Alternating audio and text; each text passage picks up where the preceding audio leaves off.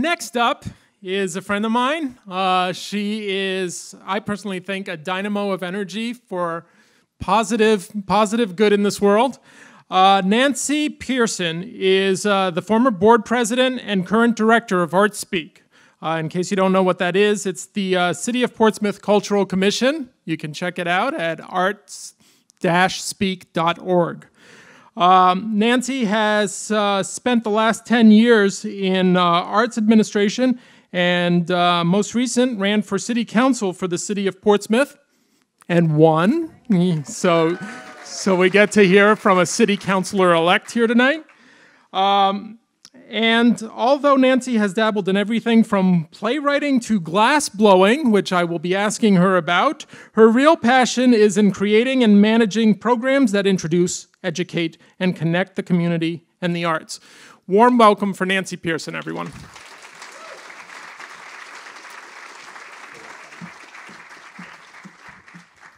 Hi, so turns out running for office while um, renovating your house is time consuming, and I was really glad to have this as a diversion, but I am going to be working off of a script tonight because I did not have the bandwidth for that. So, and I do want to say I am not an artist in any way, sadly.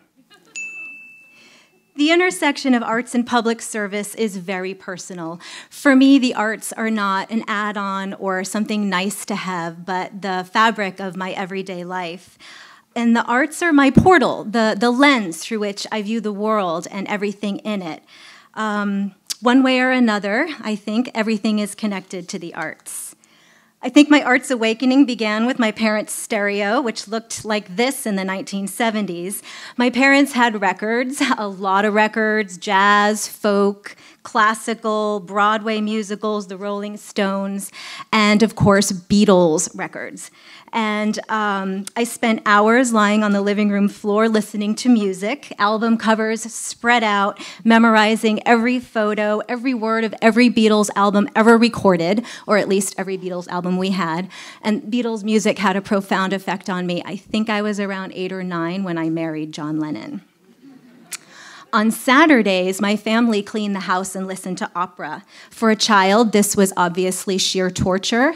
My job was the dusting, so through Italian tenors and screeching sopranos, I dusted. This is an association I still can't shake. Today, even the thought of Lemon Pledge makes me think of La Traviata or Tosca. When I was young, I drew and I colored and I painted with any material I could get my hands on. I loved the idea of color and the subtle differences in the hues lime green, neon green, pistachio green. Uh, I'd arrange my mediums into different color stories, and I was oddly satisfied with the warm and cool palettes I created. Uh, this is a family friend, David. He was older than me. He was fearless. He was actor, trendsetter, outrageous comedian. He had an eye for design and an intrinsic, um, uh, uh, he was drawn intrinsically to aesthetic beauty, and his influence is in my DNA.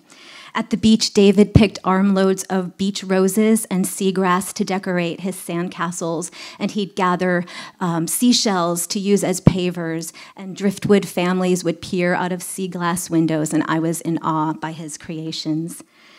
If marrying John Lennon taught me that musicians could also be poets and painters and filmmakers and revolutionaries, then David taught me equally important things like fashion and the drama club in high school and how to worship Barbra Streisand, America's one true queen.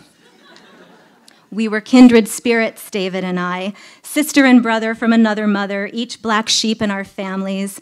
I was awkward, duh but creative and with a vivid imagination. David was gregarious and fabulous, the first to follow pop culture trends and boldly, fiercely paving, paving the way out of suburbia.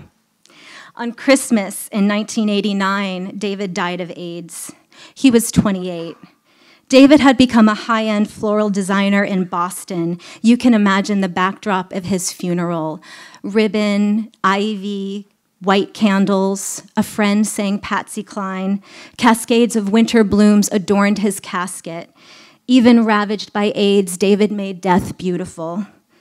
Losing David was unbearable, and one way to make sense of it was by seeking out art.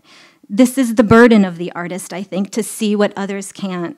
This image by Christine Webster captures the performance of a dancer mourning his friends who had died of AIDS. The Butterfly is a poem by Pavel Friedman, a Czech poet imprisoned in the concentration camp at Terezín. Its last lines are prophetic. I never saw another butterfly. That butterfly was the last one. Butterflies don't live here in the ghetto. Pavel died at Auschwitz.